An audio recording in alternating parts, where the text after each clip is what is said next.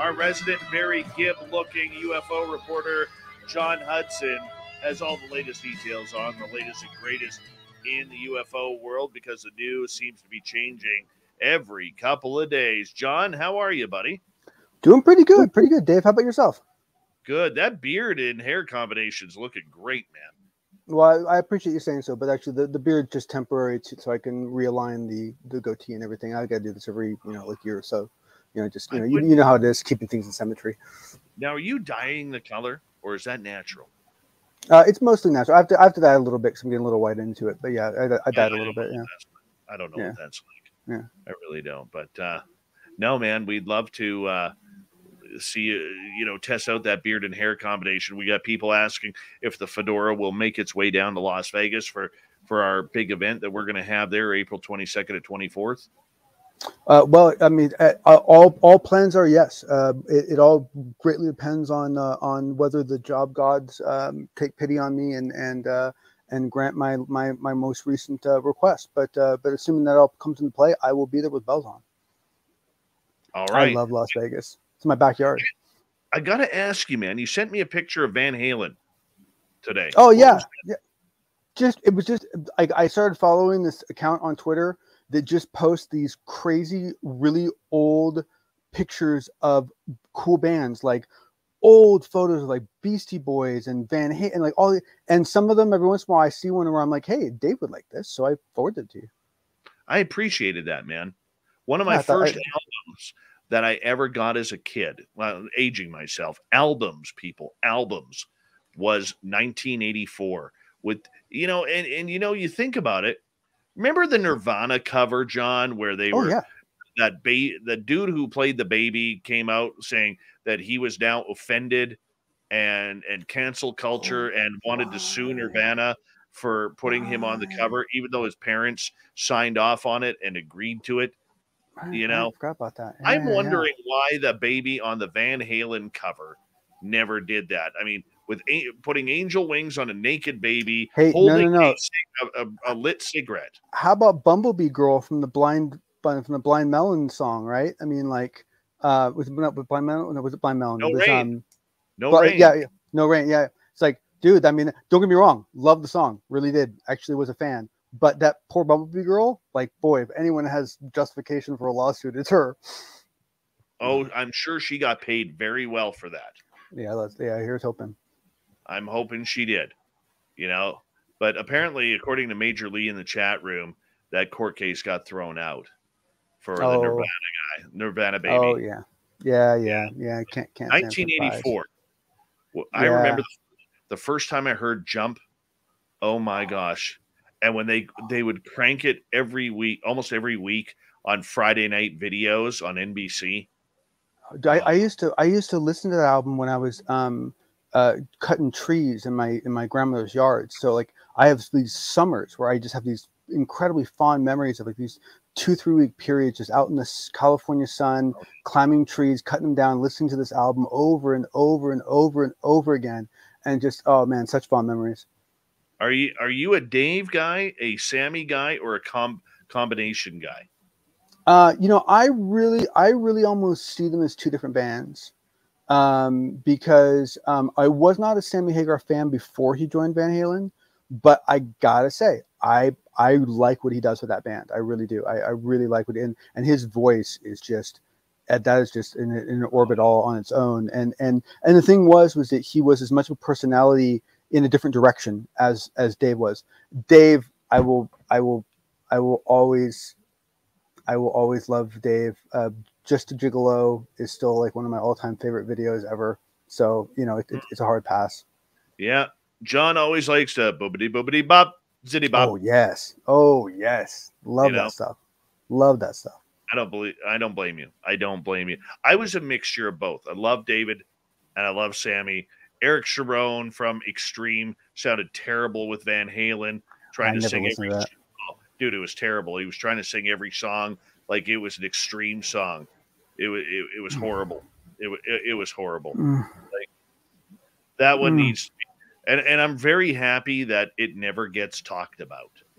You know, Yeah, yeah. But you can imagine the conversation between the two brothers. They're sitting there going like, "What's wrong with us? We're We're both obviously great musicians. Everyone likes what we do. Why can't we find a damn singer? This shouldn't be this damn hard, you know? Like I can just imagine the conversations at 3 a.m., you know? Oh yeah, man. I mean, it, it's the same thing as like, does anybody remember John Corabi for that one album on Motley Crue when Vince Neil left? Oh no, I, no, I, I forgot that Oh. even happened. Well, that's like asking about those those Duke cousins that that, that drove to General Lee for one season, and and you know no one Yeah. remembers that either. So it's like, yeah. Oh my god, what were what were the names of the Duke cousins? Hold on, where Oh the man, names? Were- it was so sad too because they didn't even just hire two good-looking normal guys. They hired two people to look as much like the original actors as they possibly could. So bad, Yes, so bad. and and then there was they were Coy and Vance Duke. That's right, Coy and most of it. Vance. Coy and Vance. They got a whole season. They had a whole season, and at the end of that, in the middle of their season, the original cast finally renegotiated their contract because they were basically on strike. Was it Oh yeah, was it, it was a contract contract dispute. dispute? hmm Yep, it was. Okay, it was a contract dispute.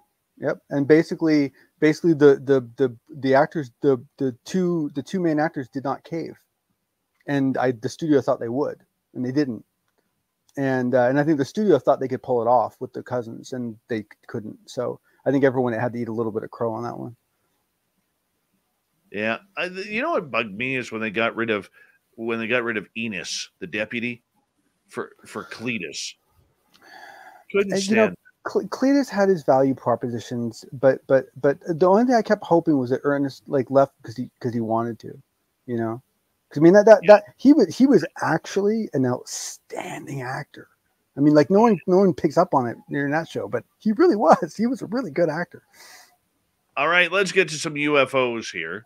No, let's just talk Dukes of Hazzard, man. I'm I'm good with that. Yeah, well, we'll do that in the after show after we're signed off the air. Uh, but there's a letter from the White House dated January 7th for UAP. What is This- this, letter all about? So I just I I I, I'm- got to read it quickly for the audience if, if everyone will bear with me. It, it's titled. It says that thank you for writing. I generally appreciate your effort in making us aware of your concern regarding the UAP, but the mailing issue needs to stop promptly. As of September, we have received over 500 letters requesting UAP disclosure from you. It's a little much.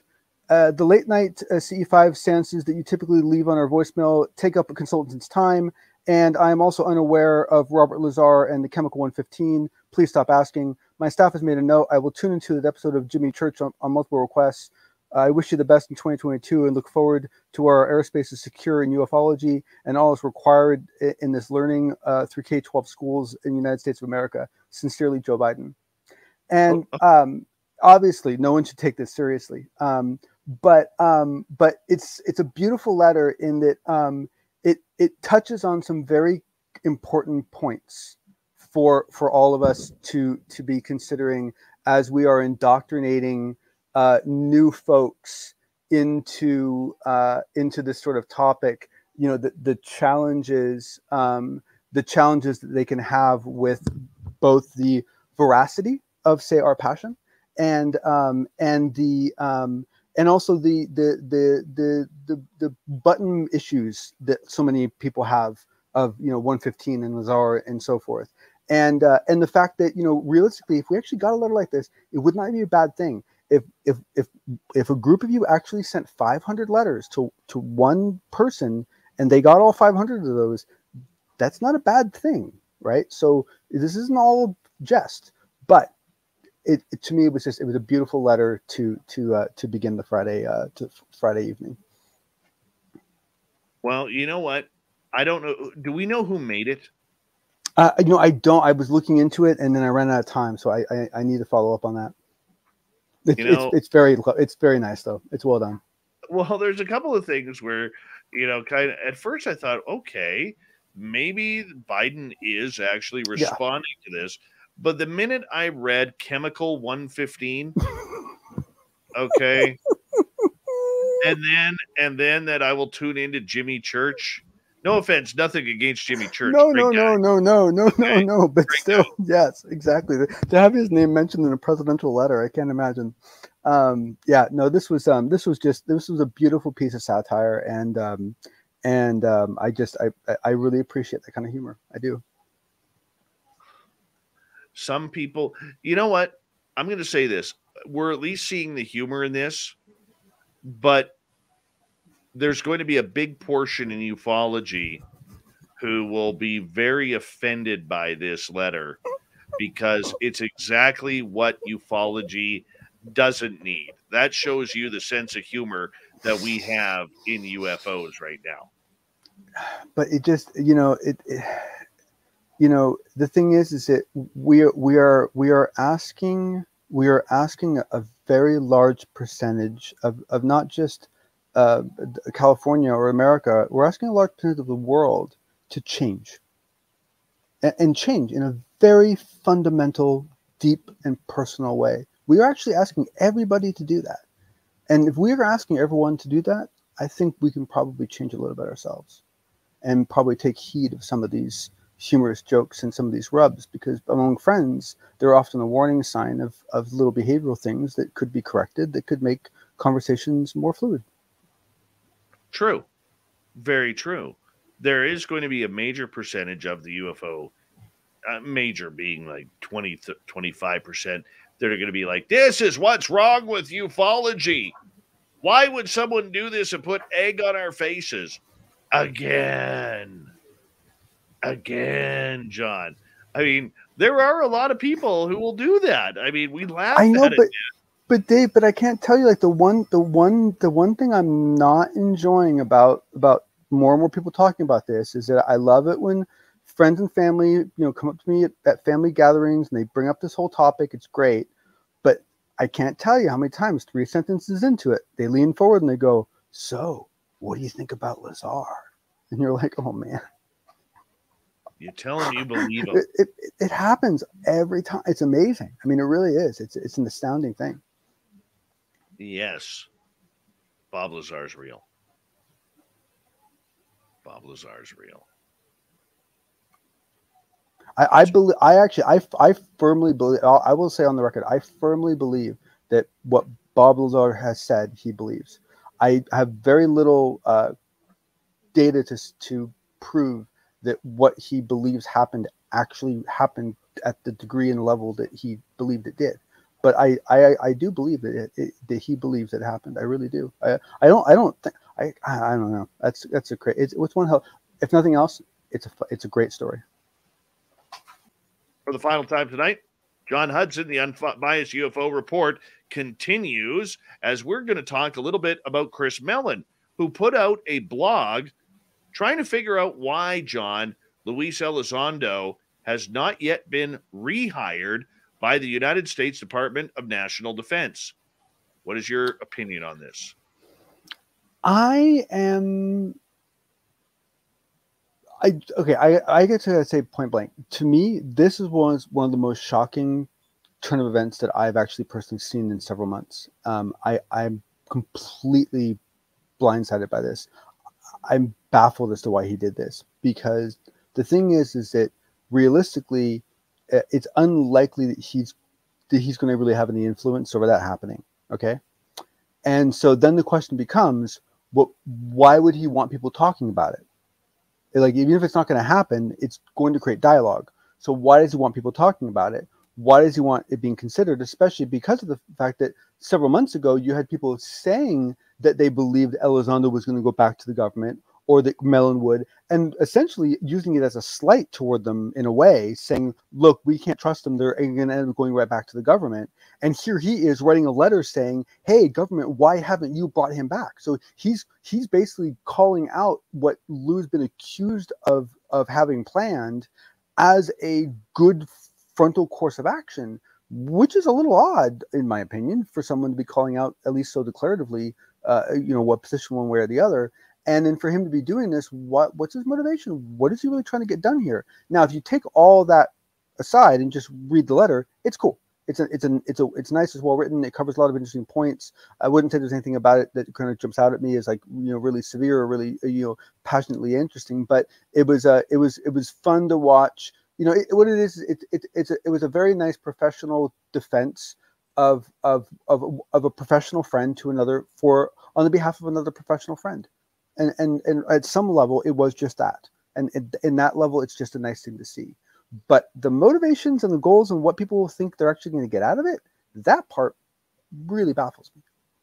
Look, we all know Lue is done. The minute he he signed off on the uh, hired Daniel Sheehan, who is very well known in Washington D.C., as well as filed those those claims with the the ombud. Uh, what do you call it down there? Up here, we call it an ombudsman. Oh no, uh, but it, but yeah, the same idea. Yeah, yeah, yeah, yeah. Yeah. It, it's based. It's the it's the it's the it's the attorney general essentially. The attorney general down there. Okay, about his claims about you know his emails getting waxed and them trying to erase his history. All right, I don't see him getting back in the DoD, but but yeah, I will say this: if they want to, if the military-industrial complex really wants to shut this topic down, like it looks like they want to, according to Susan Gough, then you rehire him. Yes. Yes. You rehire him and, and, you increase his security level so he has no chance of talking UFOs. Yep. Totally agree. And, and because know, he's maintained a security clearance, and because he's still working for a, a you know a, a, a defense contractor, um, pulling him in would be actually very easy for them to do. Um, and the one thing I will say to your earlier point is that there are many, many people that are currently in lawsuits with the U.S. federal government that are currently employed by the U.S. federal government, actively working for the same unit that they are suing. It mm-hmm. happens more than you think. So, so, so uh, uh, under normal circumstances, I would agree a lawsuit like this would negate any chances. But in the case of the U.S. federal government, it might end up being part of a settlement. Do you think Lue goes back? No, but I think that he would like to under the right circumstances. I just don't think that they're going to create the kind of circumstances he wants. He needs to go back. Well, I mean, the chances are he'd probably get buried somewhere. And I'm not saying deathly buried, but I'm saying buried in a sure. back office that right, which is why why I say I, I don't think he could get I don't think he would because I don't think he can get what I don't think he could get close enough to what he wanted to actually make it make sense for him. What do you think he wanted? Do you think he wants to run the entire program? No, I, I don't think it's I don't think it's so much as that he wants to personally run it. I think it's that he wants somebody to run it honestly. I think what he wants is he wants the result of the program to not get blocked for political or religious issues. I think he was concerned about the way the material was being um, digested or not digested by by people upstream, and and that that was his sole problem. And so if that one thing got if that got fixed for him, and he actually started getting support, and he actually started getting you know that then he would essentially I, I think he would really want to. Finally tonight in the LA Times, there was an open letter to the editor complaining, How dare you? How dare you cover UFOs? What a silly topic to be wasting newspaper space on. And look, obviously, this topic is going to have its detractors, but Jon, I disagree with this letter. I'm just going to say. Really? I'm shocked. Um, so the letter, which I'll put out later, um, it, it's it's it's the kind of stuff we're used to see, right? It's kind of stuff we're used to seeing. Um, you know, he, he goes on and he says, you know, there is not one single piece of evidence of flying saucers and little green men have ever visited our planet. Uh, reliable uh, and relabeling UFOs as UAPs uh, doesn't change that reality um, you know, maybe the best you can do is show a, a photograph of a fake plastic, a, a, a, photograph of a fake of plastic that has fallen onto an image of a plane, uh, uh of a video camera. I mean, th- it, this is basically the classic dismissive, hasn't looked at anything, hasn't updated any information for a while, and and is incensed. He is he is some he is he is he has somehow gotten himself to the point where he is personally offended by this for whatever reason. and he is and but that's not what i find disturbing. What i find disturbing is is that the times picked this as one of the two or three or four editorials that they considered that all the other readers should read as being representative of their readership. That's the part that actually bothers me not what was written because i think there's always going to be a percentage of people that feel the way he does and he has every right to feel that way but Yes. what I don't like is that, is Stephen that they, they they put it on the on the top and and and you know put lights around it as a, as a showcase. Well, the other two seem to be uh, wanting more truth, more understanding of what is going on. You know, this one gentleman, Robert Lieberman, types in one could make up all sorts of weird explanations for these remaining sightings cryptozoological, flying spaghetti monsters, mystical, wizards, witches, spiritual, ghosts, sciency, quantum fluctuations, space time bubbles, or meteorological, ball lightning. But there, until there is conclusive evidence one way or another, all, including that there are some sort of craft, are equally probable. Keep an open mind and keep calm. I mean, this is a subject that is firing people up. And you know what? Of course, they're going to put the negative one up first. The negative complaint to the letter of the editor. I mean, that's only obvious because that's how the paper is basically saying to the public without saying to it, look, we don't want to cover this crap, but people are talking about it. And so we're going to put the the piece that we agree with right up front. This is the editor speaking about this, not really speaking, but in the moves that they made to set the paper up, and they'll put the other two guys kind of on the other side. That's kind of how it works, right? So But you know, I you think if you if you wanted to if you wanted to present that opinion well, you would have picked ones that argued better. I mean, this was a very juvenile argument that was given. It's a common argument, but it's not. It's not a well. It's not like a, you know, it's not like a well conceived. You know, oh, I agree. Uh, I know, agree. So it, it's But I mean, man, you can tell the emotion. Like Oh, that yeah. guy was that guy. Oh. We we should actually read it. Do you have it in front of you, or do you want me to grab it? Um, I, I, I do, and and basically, you know, the the part, the part I find funny, I'll read the last part is the author of this op-ed article claims that in setting up this office, this new office that we're all so excited about, the Congress has legitimized the long ridiculed topic of UAPs, and he goes, no, it has not. It has merely debased itself further in the eyes of the public. I trust this office will also study leprechauns, as they may also pose a challenge to U.S. national security. I mean, that's hmm. that's some that's some venom.